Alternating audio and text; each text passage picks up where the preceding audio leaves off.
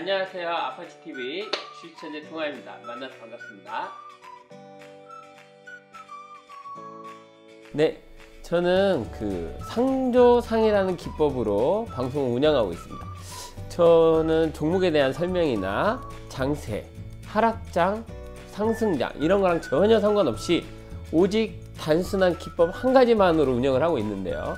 이 기법이 너무 쉬워서 사람들이 아 이게 정말 수익이 날 수 있는가 라는 의구심을 많이 갖고 있는데 이 상조상이라는 기법은 첫날 상승한 뒤에 두 번째 날 조정받을 때 오후장에서 저희가 꼬리 잡기를 하는 기법인데요. 이 기법 하나만으로 지금 현재 그 한 달 동안에 거의 200% 이상의 수익을 올리고 있고 특히 좋은 점은 손절 없이 진행을 하고 있다는 겁니다. 그리고 또 무조건 들고 가는 게 아니라 하루나 이틀 안에 거의 수익이 나오기 때문에 이 종목을 하시는 분들의 만족도도 높고 직장인들이나 일반 그 주부님들도 아주 쉽게 따라갈 수 있기 때문에 지금 호응도가 아주 높은 기법으로 운영을 하고 있습니다. 지금 현재 그 회원이 상승 중에 있으며 많은 사람들이 지금 이 기법에 대해서 같이 공부를 하고 있습니다.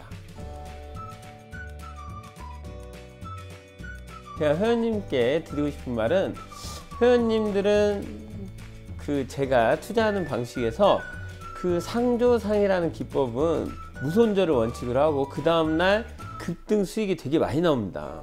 그러다 보니까 하루 이틀 지날 때는 되게 잘 따라 하시다가 조금 더 수익이 잘 나다 보면 회원님들이 나름대로 종목 판단을 하기 시작을 하시죠. 그러시면서 종목을 제가 하루에 세 종목을 드리면 어느 한 종목에 비중을 몽땅 실어서 들어가는 경우가 많이 있습니다. 그렇게 되면 그 다음날 제가 방송 운영을 해보면 꼭 이 첫 번째 몰빵을 한 종목에는 오르지 않고 B나 C 종목에서 급등이 나오는 경우가 많은데 그렇게 되면 회원님들이 그 수익을 보면서 하, 내가 들어간 종목만 수익이 안 난다고 얘기를 하십니다. 그렇지만 저는 분명히 추천은 세 가지를 드립니다. 비중은 종목당 10%씩. 그러면은 이게 공정하게 수익이 날 수 있고 이 상조상 기법이라는 거는 짧은 수익을 내더라도 한 종목이 급등하는 수익을 내기 위해서 하는 건데 회원님들이 여태까지 공부한 거를 바탕으로 계속 판단을 하신다는 거죠. 그리고 저울질을 많이 하십니다. 그것만 없애주신다면 저하고 큰 성공 투자를 하실 수 있을 거라고 생각합니다.